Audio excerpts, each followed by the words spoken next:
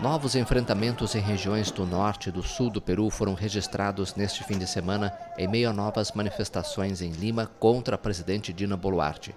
As manifestações não dão trégua, apesar das 45 mortes registradas desde o início da onda de protestos em dezembro.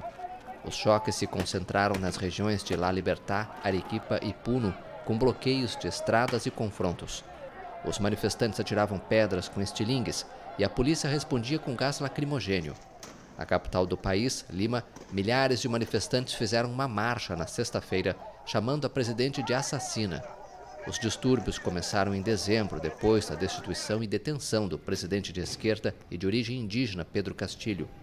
Ele foi acusado de tentar um golpe de Estado ao querer dissolver o Congresso controlado pela direita, que estava a ponto de destituí-lo do poder por suspeita de corrupção.